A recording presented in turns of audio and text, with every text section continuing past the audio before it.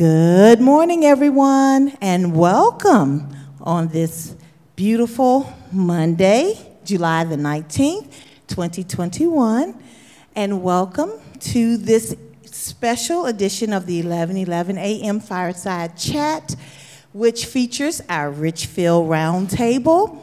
This is our very first presentation in which we are having one of our very own from our flock to share information and experiences from his career as a U.S. Forest Service Forest Ranger. Um, and so, therefore, this is a presentation of our Geese Speaks program as a member of our flock, Mr. Robert you, Bob Lockhart. Welcome, Mr. Lockhart. Thank you. Thank you so much for being here with us today. And as I mentioned, Mr. Lockhart served for more than, uh, worked for the United, States Forest Service, and he served for over 25 years in various capacities, as he will explain. As well, um, he was involved in even um, starting a program of study of forestry for a local community college. So he is well versed in the area of forestry.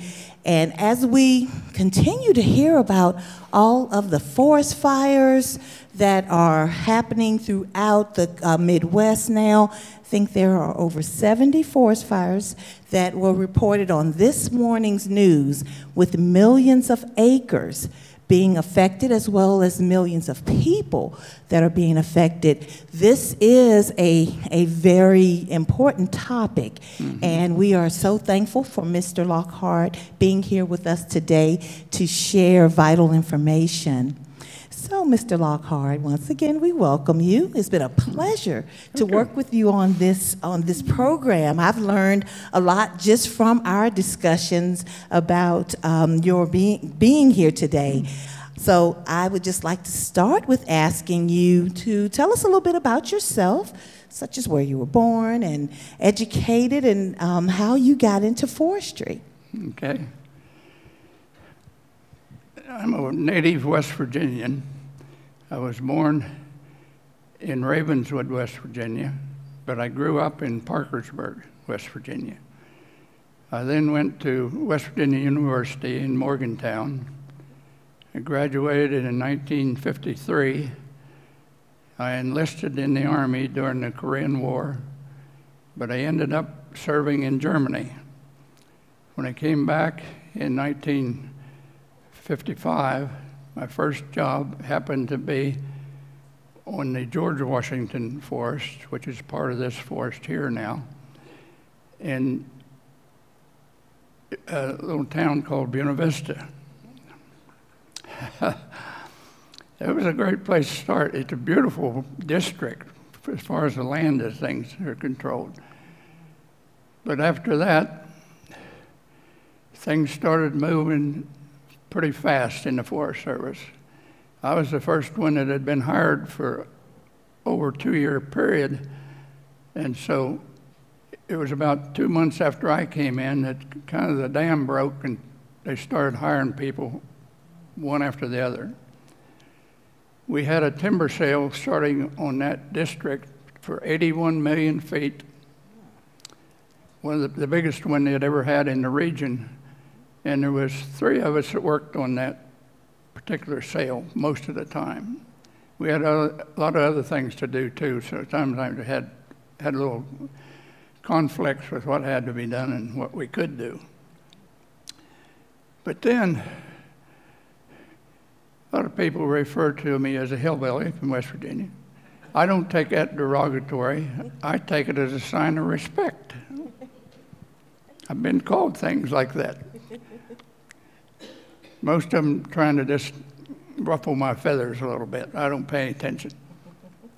Anyhow, so that's how I got started. Then, partway through my career, the fellow that was the president of the community college at Clifton Forge had been after me for two years to come and start a, a forest technology program for two year people. So I finally resigned from the Forest Service in 1910, or 1910. A Not little quite la- that little early. later than that. It was in, yeah, 20, uh, yeah, uh, huh? I said, not quite that No, early, no, huh? no, no. So I went there and set, set up that program and ran it for almost five years. And then I went back to the Forest Service.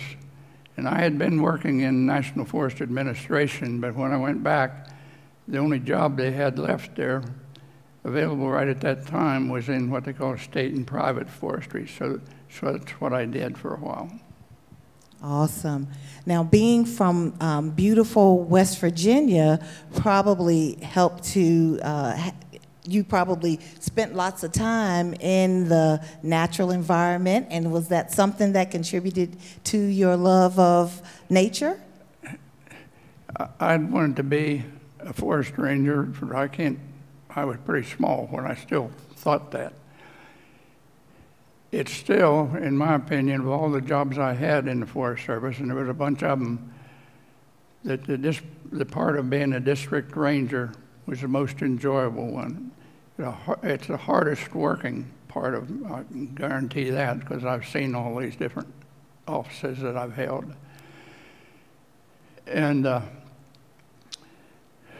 so I'll just tell you a little bit about what happened then. I was transferred from Buena Vista to a forest in Pennsylvania called the Allegheny. And I went to a district in Marienville, then was transferred over to, to uh, Ridgway, and I had to set up a brand new district. I hadn't been in the Forest Service all that long. But after that, then I was sent back to Virginia in Kentucky, into uh, uh, Covington, Virginia, which is not too far from us here.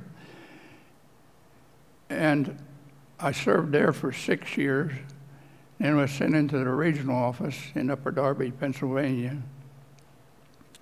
Then was sent to the Upper Peninsula of Michigan, and then went to southern Illinois, and went to the chief's office, and that's when I, reti- I resigned and ran the school. And then after I left that, I went back to the Forest Service, and it was back to Upper Darby again.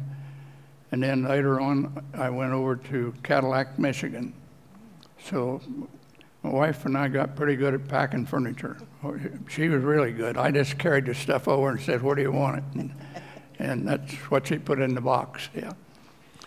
Wow, yes, you, you have covered a lot of the country um, and spent a lot of times in the forest throughout the um, eastern half of the, of the country and Midwest. So that was probably an exciting time for you. It was. We got to, we got to see a lot of different country, beautiful places, and uh, well, let's start off this way. A lot of people don't remember that there's two different units here. There's a, the Park Service and the Forest Service. The Park Service deals with national parks, national monuments, things like that and it's all designed towards preservation. The Forest Service is conservation, the wise use of the land. So the Park Service, they enforce their own laws. We don't with the Forest Service. We're, concurrent with whatever the local jurisdiction is, and we get them to, to work with us. We help them, they help us. So that's, that's the way it goes. Now, speaking of law enforcement, one of the jobs I had when I worked in the Washington office was to head up a program to determine whether the Forest Service should have law enforcement people on their staff. So I did that, and they decided, yes, we're going to start having forest officers carry, the, carry a gun. I was head of the recreation that time on a forest, and I was able to get one of our fellows the ability to carry a weapon. And you say, well, why do you need a weapon? Well, when you're out in all this open land places, there's not any protection other than yourself. And some people, I'll have to say it, the ones that caused us the most trouble happened to be females. And what made them so belligerent was they would, would drink. Well, in, Pencil, in uh, Cadillac, Michigan, for example, we had a lot of beautiful rivers to canoe on. And some of them wouldn't be any wider than this, this row of chairs right here. And the water may be only that deep. You can imagine people tipping over in canoes and everything, besides dragging along an inner tube with a case of beer in an extra canoe, extra tube. So one of the things I did there was I had to come in and see what could be done on this one particular river that was taking down on a weekend over a thousand canoes on a weekend. And it was just all these metal canoes hitting rocks and banging into each other. You know, you could hear noise for, seemed like for miles go down there. Anyhow, I cut it in half. I called it, all the canoe liveries in. I think there was eight or nine of them. And I said, we got to get control of this. This is not meeting the qualifications we would like to see happen on these rivers. So we're going to cut it and we'll set in a quota of 500 canoes a day on the weekend, each day on the weekend. So I said, I think the fairest, fairest way to do it is just if uh, everybody take a percentage, say 10% of what canoes they have, you have, and deduct it. Everybody do the same way.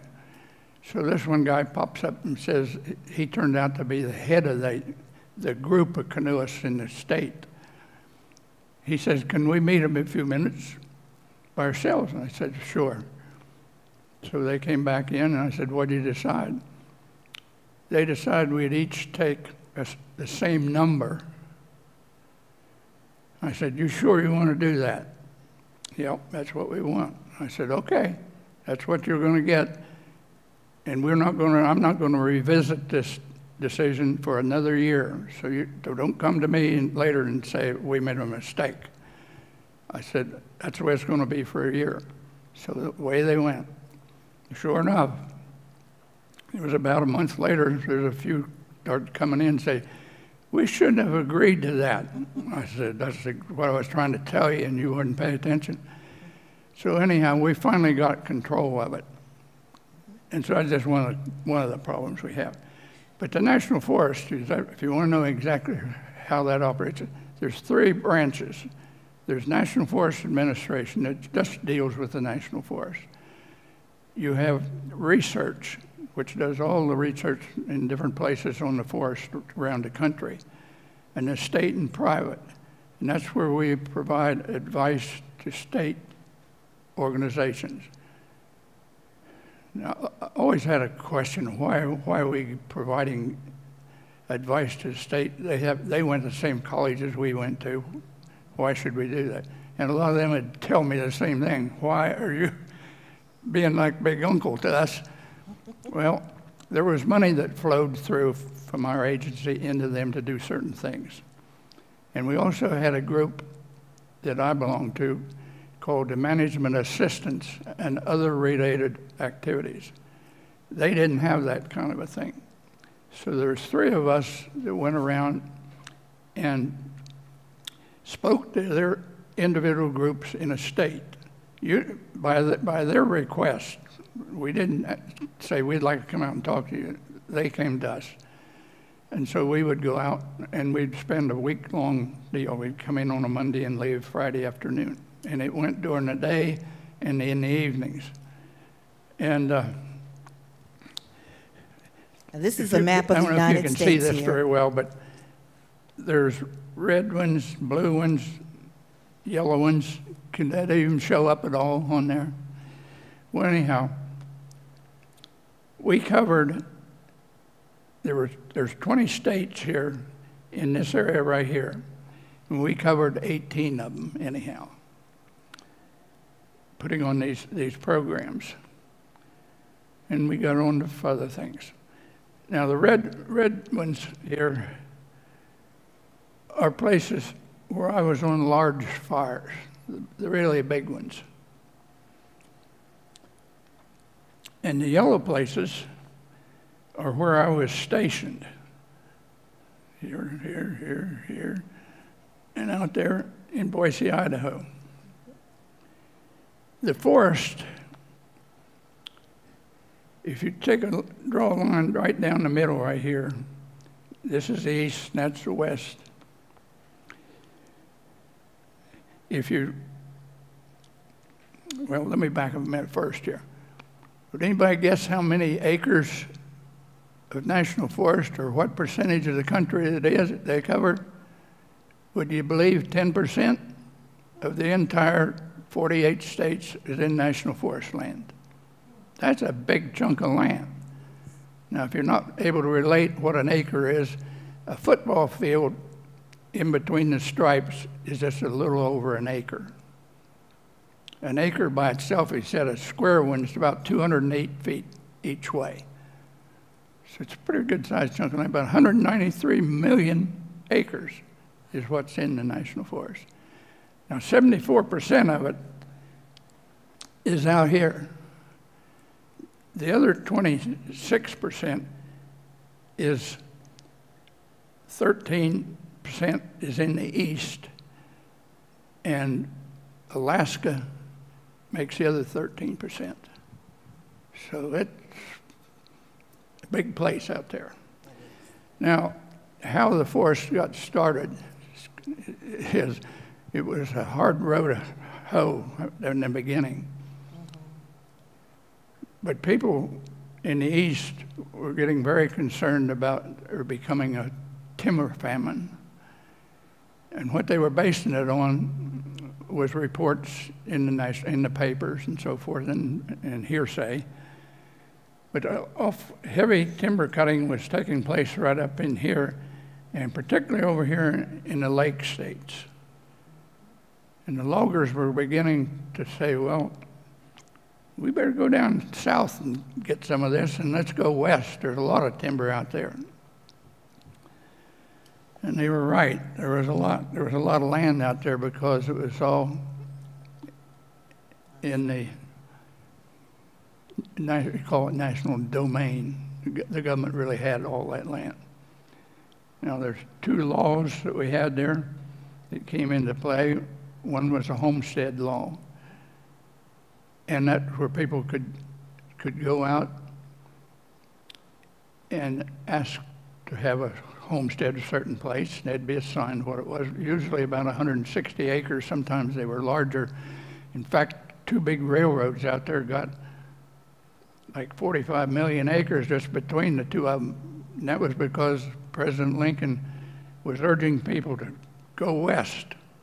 Well, a lot of people went west, but a lot of them also came back because that was a tough place to be in. You didn't have stores you could run to real easy out in that country.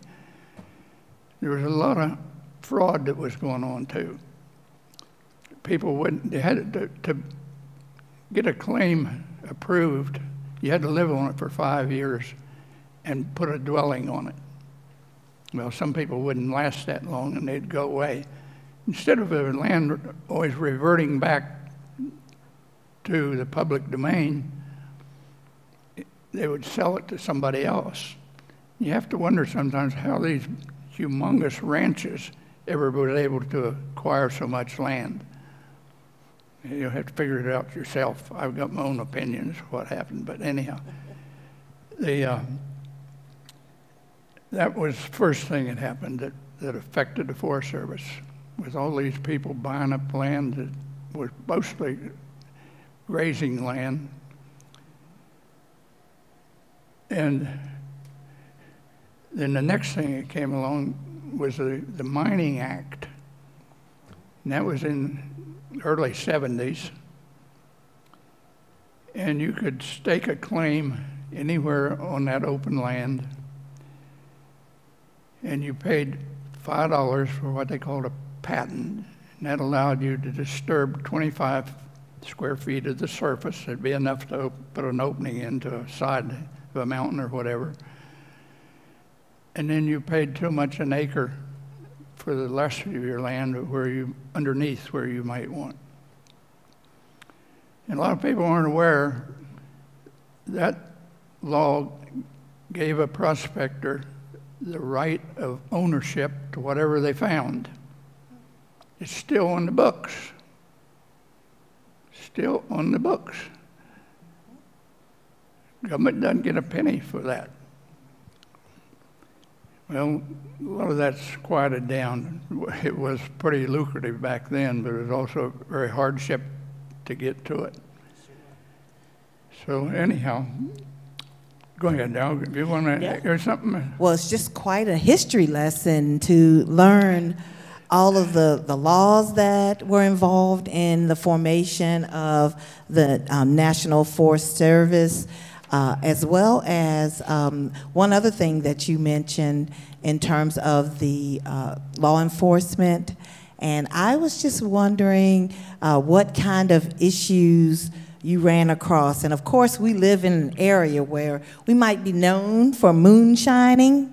And so, was that something that you ran across occasionally? Yeah, let me add something in there first before we go into that. Sure. The, the people that work on the forest, you have to start with the chief who's in Washington, D.C. There's only one chief. Then you come down to what regional offices, and you can't see it on these marks, but I hear these outline what regions. There's nine of those. California by itself is a region. There's so many national forests in it that one regional forester. So there's nine forest uh, supervisory forests, and there's this was in 2007 because I can't get a get a newer copy of anything. I think they quit putting them out. But anyhow, there's there was 508 district rangers. They're below the forest supervisor. So you got the chief, the regional forester, forest supervisor, and the district ranger. The district ranger is the one who gets the work done. The rest of it's advisory up here. I always say, why so many? But anyhow, I don't run the outfit. But anyhow, there used to be a lot more. There was close to 800 districts when I was a district ranger. They were, were the crew that you had was very small. One time, I had four people. That was it, including me, to, to run everything. It made it made it tough, and you always had more work assigned to you than you could possibly ever get done. So I don't think you ever heard a district ranger say, "What am I going to do with my extra time?" You didn't have any. You didn't have any. You were always on call if you needed they needed you somewhere for another district to help out. Somebody got sick, got hurt, whatever, and that's just the way the things operated.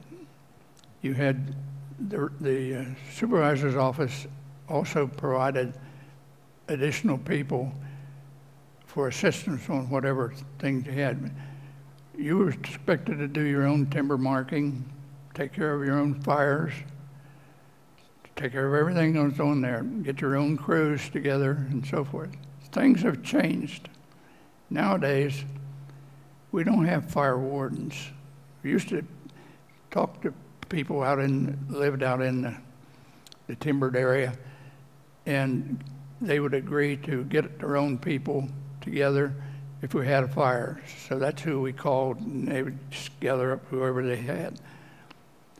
Well, they changed the rules so that uh, everybody had to master what they called a step test to, to test your physical fitness. Didn't want anybody getting out there that wasn't able to do the work, which is pretty tough. A lot of times we, particularly out west, we'd have to, we'd go into a bar, and clean up whoever's in there and say, you're on a fire crew. You sober up on the way, but you're coming with us. That's the only choice you had. But nowadays they have what they call hotshot crews, and they're scattered around mostly out west. Occasionally we have one or two here in the east. But those people have been well trained by us. And they take training after training. They're, they're pretty self sufficient people, too. But they work their tails off. So now what, we used to have what we called the 10 a.m. fire control. If a fire happened on, say, my district, by 10 a.m. the next day, I was charged with getting that fire out by then. Made it tough when it started late, late in the evening, almost midnight. and you're almost 10 a.m. the next day before you ever even got to the fire. But anyhow, if, it, if you didn't get it to the first 10 a.m., you got it to the next one. You didn't put it way off in the distance. Well, here just a few years ago, this was after I had left the district over at Covington, Virginia. They had a fire that burned 24,000 acres on that district. I couldn't believe it. and there's reasons for, for that. They didn't get in there because I don't want to disparage the women because we had some really good ones, but they didn't have the training to do the things, and then they didn't face the danger. What they they considered much more of a danger than the average man would even think about. The fires in the east are not like the fires in the west.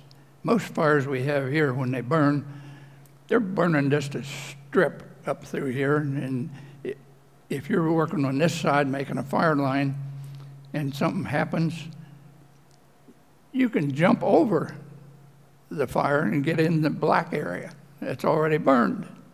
You're not going to get run over. Don't try that out west. You see how they go. They just flare up. And most of our fires here in the east are in hardwoods. They don't get up in the tops of trees. Now, if you get into pine plantations down south, yeah, that happens. But mostly in the east, it's, it's, it's not very hazardous. If I had been a fire, or the, the district ranger on that district out there, we would not have lost that many acres. Because I, I never ran into a place, and I was all over those acres, that were too hard.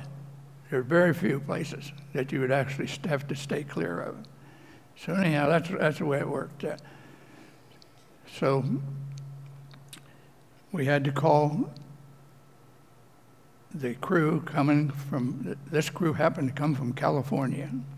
So by the time you call them there, and they get that group together, get them back on a plane, get them place to stay here in the East. That doesn't happen in a few minutes. It may take two or three days. Well, by that time, you don't have a little fire that, if the people had attacked it at the right time, could have saved it. Now you got a humongous fire, and not only the damage, total damage it does, but the cleanup costs afterwards. So there was a question. There's a lot of people say, well, we ought to let, let them burn. There's too much underbrush in the tree. Just having an uncontrolled get out there and burn an area versus a planned burning, they're two different things. So people still argue that. I still say hit them while they're small, get it over with, and go ahead. So that's typical what happened. So with these fires that we were discussing um, that are happening right here today, um, what, what insights do you have that would give us some idea of why they're so massive at this time and, and uh, affecting so many acres of, of our, our forests? and otherwise? Well, out west, a lot of the timber stands out there are very dense. They're not, they're not all pure conifers, but most of them are. And we have them, you got limbs quite often that come clear down close to the ground. So even though you get a low ground fire started, it doesn't take very long till it gets up in the trees. And then you have the possibility of a, of a crown fire. The last one I was on was in Michigan. And it was it started out as a prescribed burn by by the Forest Service. And we're trained to get weather people in there and give us up to dates all the time. What's happening? What's happening? You know, is it okay to do this? Yeah. Well, they got the okay to do it, but then, like the weather, it has its own mind sometimes what it's going to do. It started acting up, and it circled a guy who was making a, a fire line with a bulldozer, and actually we lost him on that. He's killed. But the fire went 14 miles from one morning about 10 o'clock to about 6 o'clock that evening. That's how far it went in a straight line. We thought we was going to have to evacuate the town that was at the other end. We finally got it, got it done before, but it got into a crown fire, and the wind was taking it right down through the, where all the pines were, red pines. And so we also burned down a fire station. That was a little embarrassing. after the fire station was out at a, a lake, and it just encircled the whole thing. And that's what happens when you have a lot of conifers.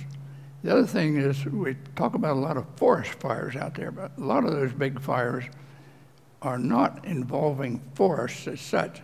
They're brush fields. And the oil that's in some of those shrubs is pretty flammable. So once it gets started, it's like throwing grease on a fire. Away they go and you don't have a, a, a particular line moving, you, you, may have a big long front going. It's pretty tough to get your arms around something like that.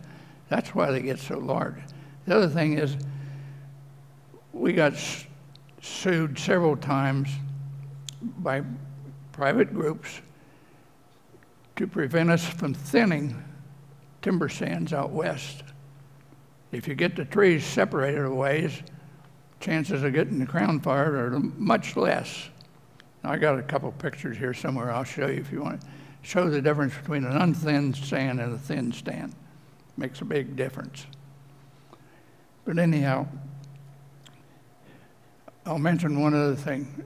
There's a group called the Sierra Club. You've probably heard of it, may even be members of it.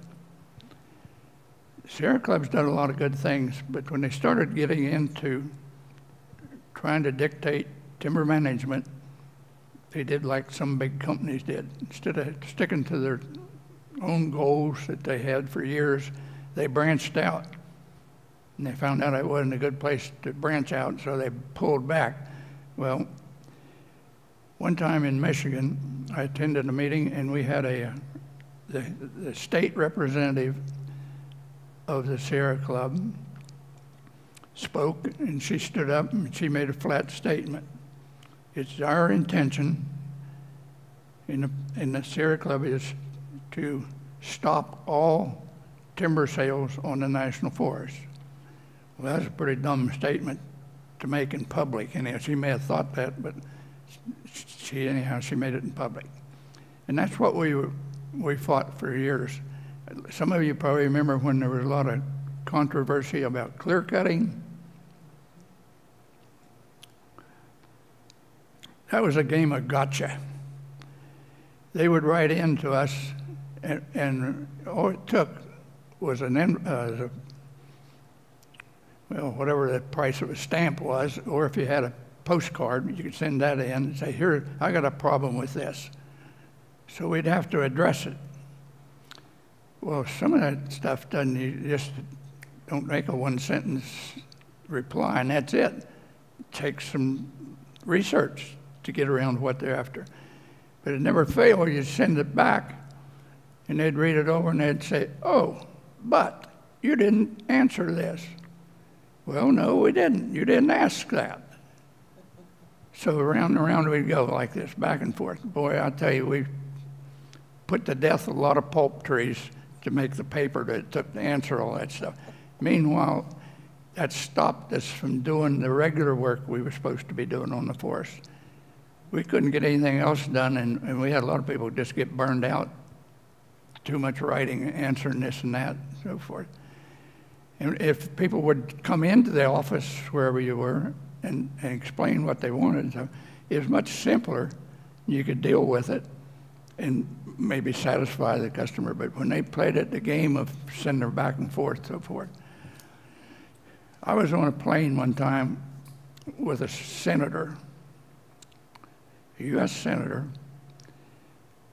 and we were going to uh, Chicago, and he was a member of that. He's, and he told me, he said, uh, if we have a problem with the Forest Service, he says, we have certain people we call, and they're obligated to call 10 more. And some of those people do 10 more. And he said, we can blanket Chicago in one day and just flood your desk with stuff. I was sitting there, you know, all you could do is say, well, we don't appreciate that, but we don't have any say about it. What- So we've had a lot of problems with that.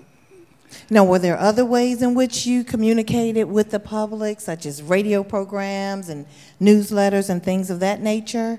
Yeah, the, uh, the bordering ranger, me, he, he was from up in Hot Springs, Virginia.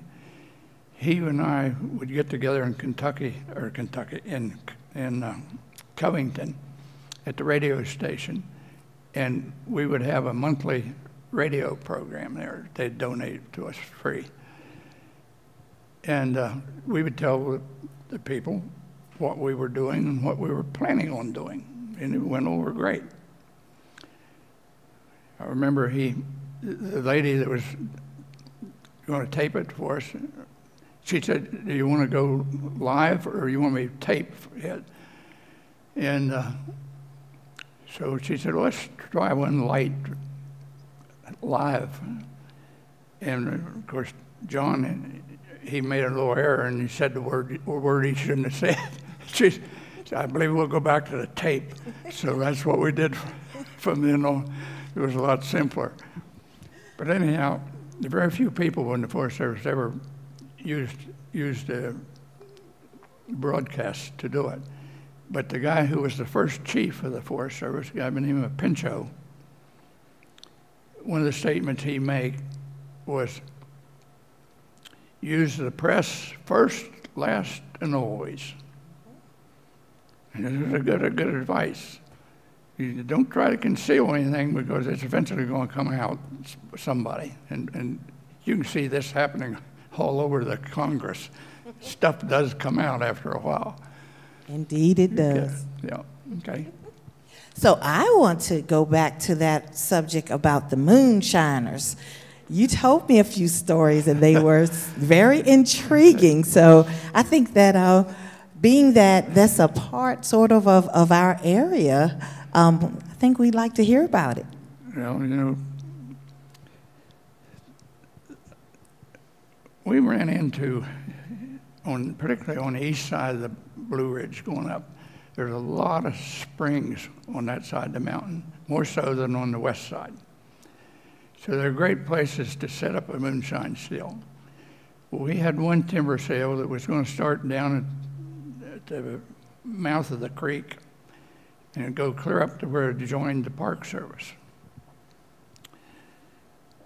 It was, I remember it was, I think, 890,000 feet of saw timber, big trees, and it was in rhododendron that would be up as high as that grill there in the wall. Thick, you could hardly fight your way through it.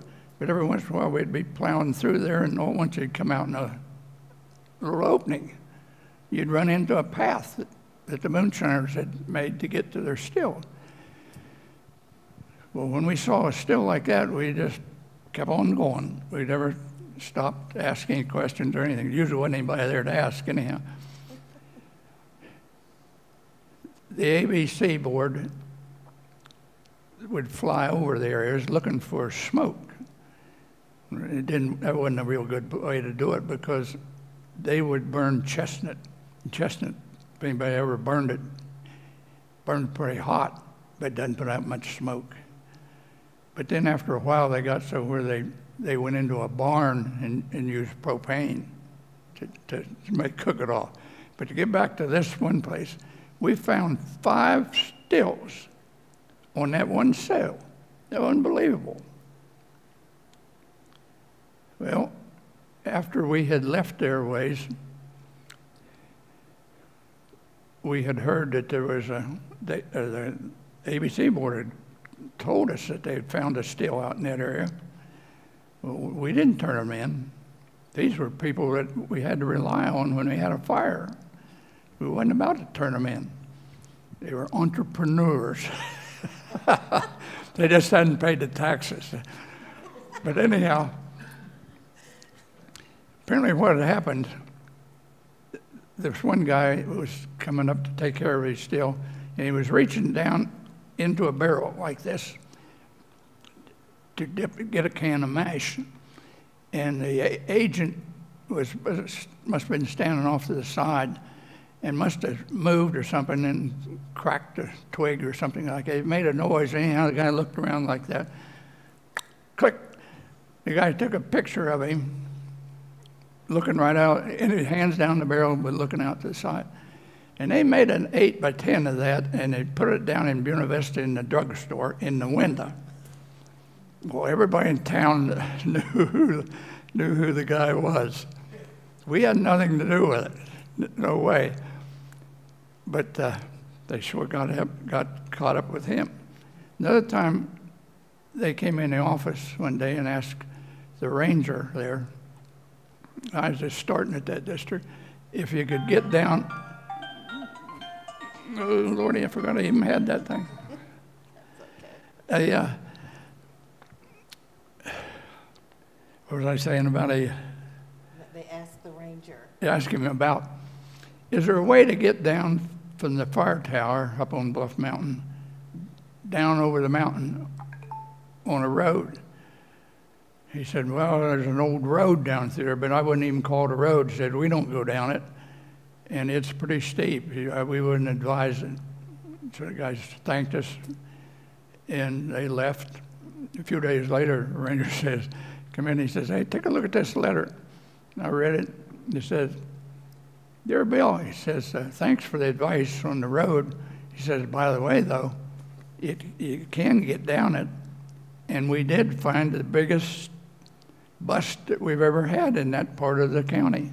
So Again, they looked right at us that they're hiding them again. Well, we were just trying to say a safe thing. We don't do it. We wouldn't ask you to go down it either. But there was a, there was no end to stills down in that way.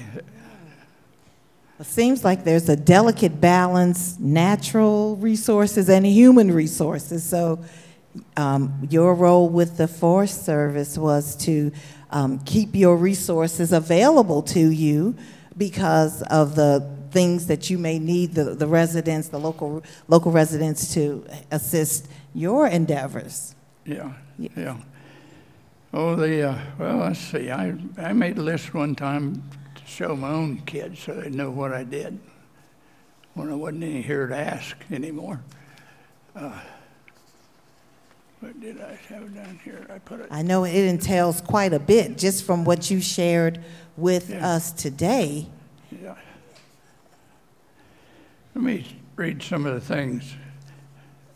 What I called it was I said, some of the jobs I did in forestry. I'll read them real quick. I remarked boundary lines with red paint. I helped survey a new purchase boundary. I purchased a road right away. I cleared land trespass problems, inspected summer residence permits, inspected all types of special uses, served ahead of a fire crew while in college, led fire suppression crews different places, inspected fire lookout towers, conducted the first prescribed burn on the forest, served as an air tanker evaluator in Boise, Idaho, detailed to major fires in Maine, Idaho, California, and Michigan, was selected one of the first three employees to receive a master's degree in fire management at Yale, caught and prosecuted timber thefts, wildlife, fire violators, and I think I mentioned I headed that law, law enforcement study. Stocked trout, planned water, wildlife water holes and food plots, erected a demonstration five acre deer exclosure, conducted deer hunter dispersion surveys, prepared timber appraisals and contracts, conducted timber bidding sales, counted U.S. stamp locust post sales, conducted seedling survival surveys, led timber stand improvement crews, and planted 185,000 seedlings in one operation in Pennsylvania, cruised and marked timber for sale, reconned and marked timber sale boundaries, stopped the use of stump roads in favor of planned road locations, located miles of logging roads, pruned crop trees, conducted insect damage surveys, conducted trail inventories, marked new trail locations, developed brochures for all kinds of recreation areas and trails, established canoe and fisherman quotas, uh, I moved canoe landings back this would be the parking areas so that all the canoes didn't get put right down on the water. Let them carry them away. I canoed the Pine, the Miramar, Pere Marquette, the Little Manistee, the White, and the Au rivers, and two of those became national scenic rivers.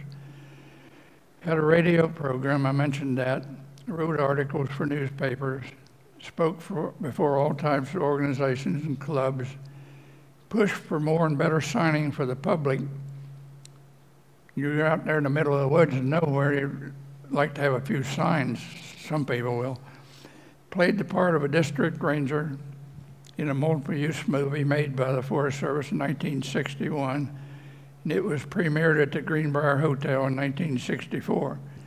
Served as one of three U.S. Forest Service employees at the White House Conference on Natural Beauty that was President Johnson's wife, had that in 1965. Set up a forest technology program, and I went through that. I prepared Ranger District and Supervisor Office budgets, managed finances, served as management consultant, and went through that. Set up a newly formed Ranger District, prepared short and long term work plans, conducted annual appraisals and ratings for employees, and attended many training sessions. I woke up every day in a different world, it seemed like. There was never any question do you have any work you need to do? Yes, yes, yes. Had plenty. that is quite an impressive resume and uh, such a, a wonderful, um, such wonderful service that you provided uh, the, the Forest Service as well as all of us who enjoyed the, the bounty of your labor. Yeah.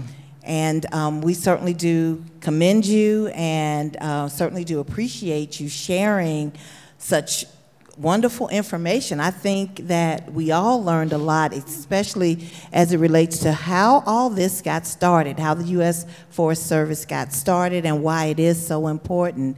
And so we certainly do thank you for sh sharing your insights and your uh, expertise with us today.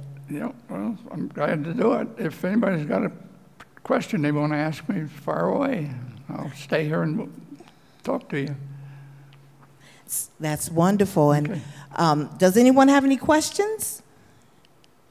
We do have an, an in, in chapel studio audience, and we thank you all for joining us today. And also, um, we also remember the courageous men and women who are fighting these fires today. And um, I, there are almost a dozen here listed on this map. Uh, that Mr. Lockhart was involved in battling as well. So we just thank all of the courageous men and women who um, put forth those efforts to protect our natural resources as well as conserve and preserve um, these precious resources that we all enjoy. And um, I just really do appreciate uh, your time. And we've worked together on this. And uh, the stories, and he, you know, he's had some, he has some good stories, and he's quite witty.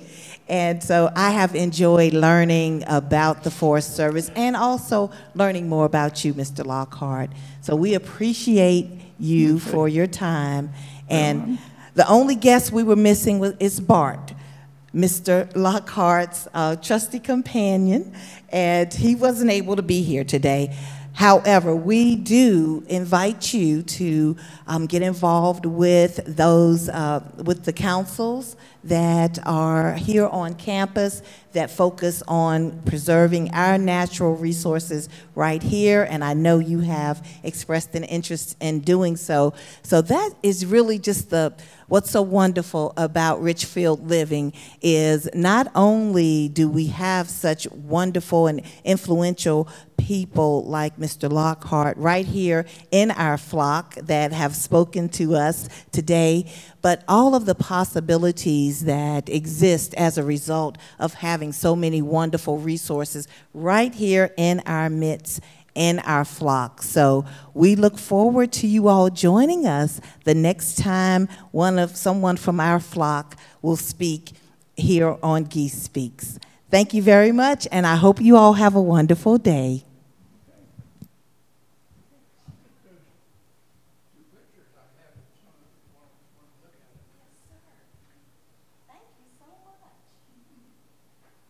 Affectionately referred to as JCT, this